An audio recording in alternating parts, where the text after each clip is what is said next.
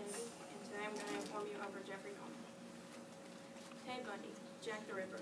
When these names are said in sequence like this, two words come to mind, serial killers. Throughout history, many madmen have been recognized as extreme serial killers. However, there is only one who chillingly takes first place in the minds of many fearful people, Jeffrey Dahmer. I know this topic due to the vast amount of research I have done, not only on this, but in the field of psychology and other serial killers. Jeffrey Dahmer was a known American serial killer and sex offender who murdered 17 men and young boys. According to crimemuseum.org, Dahmer seemed to have a relatively normal childhood. It was not until he was older when he experienced changes in his personality. Although he never became involved in any hobbies or normal social interactions, he did, however, have one bizarre interest, dead animals. During his high school years, he picked up the habit of drinking, which in turn caused him to be dishonorably discharged from the Army. Dahmer then traveled to Florida where he moved in with his grandmother. He was in and out of the hospitals. His behavior grew even more disturbing while living with his grandmother, including being arrested for indecent exposure.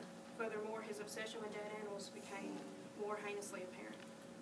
Unbeknownst to his grandmother, many times Dahmer would keep dead animals in the basement of the house, dissolving them in chemicals.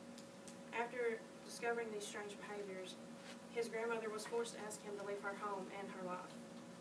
Shortly after being kicked out, Dahmer found a new apartment close to his new work. Only a day after the move, he was arrested for drugging and sexually fondling a young boy. Frightfully enough, Dahmer's real fun began in 1978 when he brought home a hitchhiker to his abandoned family house, killed and dismembered him. This young man became one of Dah- that Dahmer would kill during his daunting journey as a serial killer.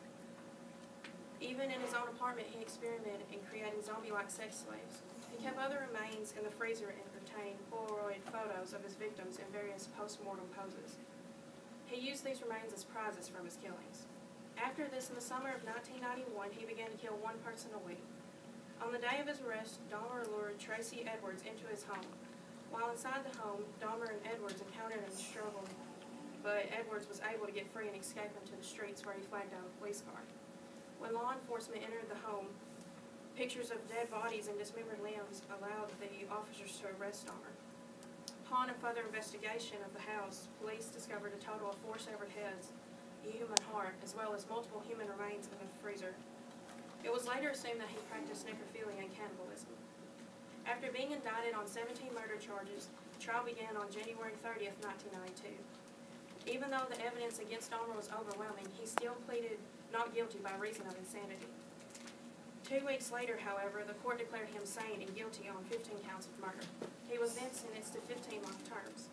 Based on the article The Infinite Series, Fathers, Cannibals, and Chemists, he served his time at the Columbia Correctional Institution, a maximum security prison in Portage, Wisconsin, until November 28, 1994, when he was killed by fellow inmate Christopher J. Scarver.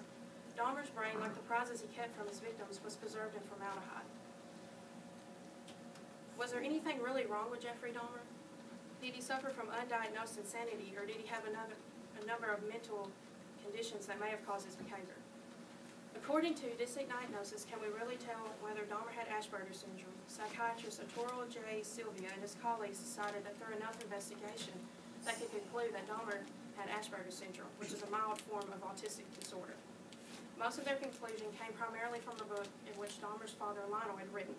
According to the written piece, during his childhood, Jeffrey Dahmer had exhibited behaviors that contributed to this disorder.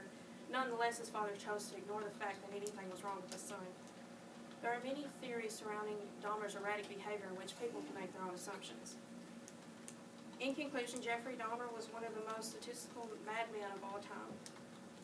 His pattern of killing is what sets him aside from everyone else. Although it is evident that Dahmer could have suffered from some kind of mental condition, it does not fully explain in entirety the reason for his erratic behavior.